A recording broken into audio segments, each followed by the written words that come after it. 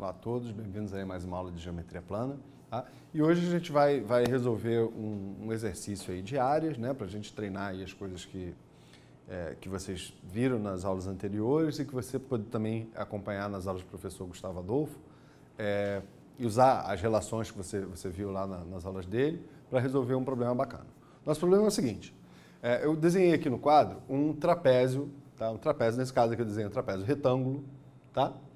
É, com essas medidas, esse, a base maior aqui mede 9, a base menor mede 7, a altura vai medir 8.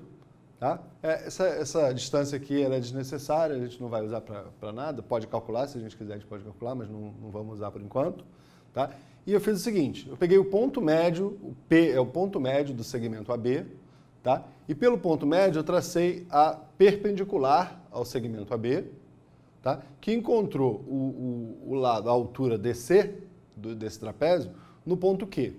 Tá? Com isso, eu montei esse, esse quadrilátero APQD, tá? e a nossa pergunta é quanto vale a área desse quadrilátero, certo? A gente vai resolver aí usando é, os conhecimentos que você já tem aí da, das aulas anteriores, é, e para começar eu vou calcular logo a área do, do, do quadrilátero todo, vou calcular a área do trapézio. Tá? Então, lembrando aí da, da fórmula da área do trapézio, é, eu vou fazer a base maior mais a base menor vezes a altura dividido por 2. Tá? Deve ter sido isso que você, você encontrou aí nas aulas anteriores. Tá? Então, a área ABCD vai ser igual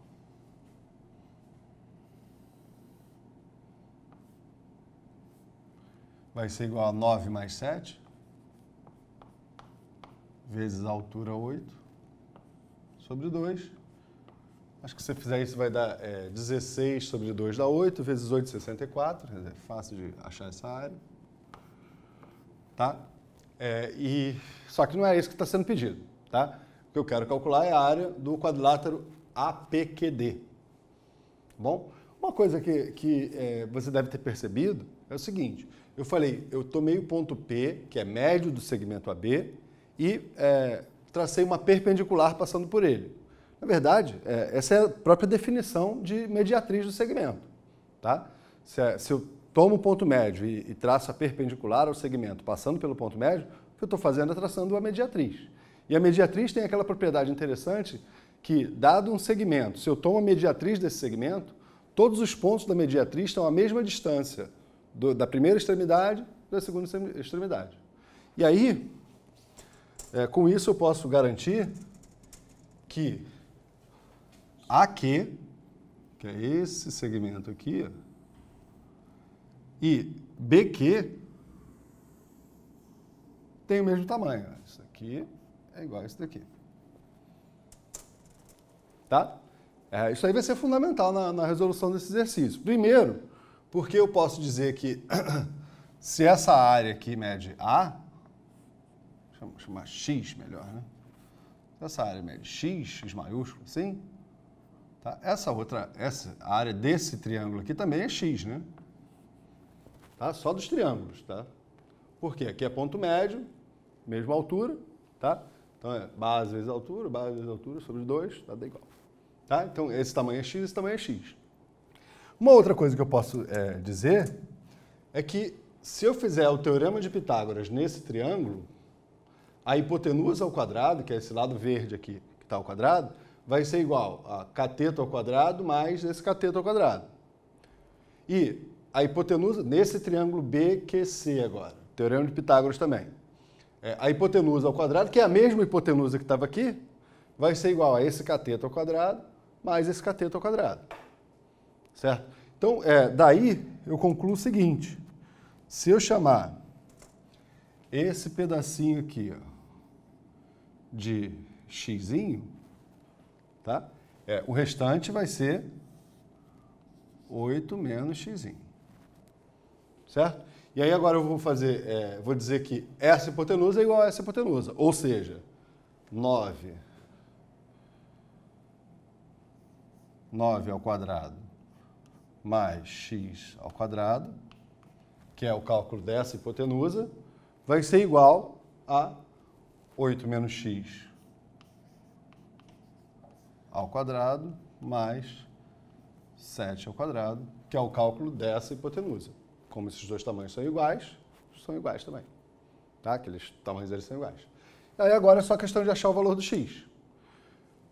É, eu vou ter 81 mais x ao quadrado vai ser igual a 64 menos 16x mais x ao quadrado mais 49.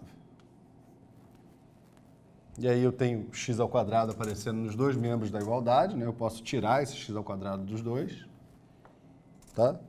Eu posso também somar 16x e tirar 81 para isolar o x em um membro da igualdade, tá? Então, tirando 16x aí dos dois lados, eu vou ter 16x aqui. Igual, e agora vamos fazer essa conta aí para não, não, não demorar muito, né? Vai ficar 64 mais 49 dá 103, se não estou enganado. É isso, 103, né? É 113. 113. E tirando 81, vai ficar 113 menos 81 dá 32. E daí eu concluo que o x é igual a 2.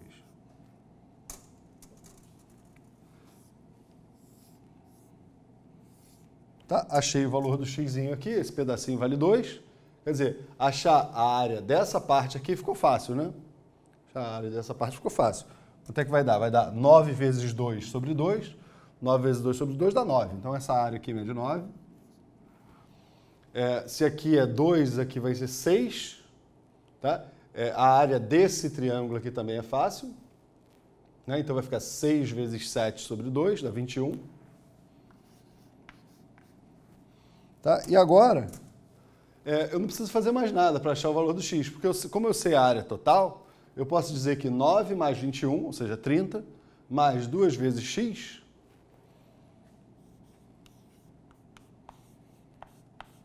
vai ser igual a 64.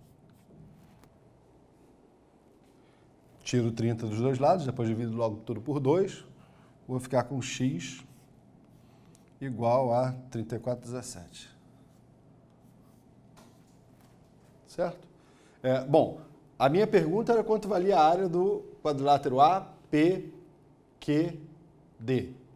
Tá? Então, a área da APQD, a resposta aqui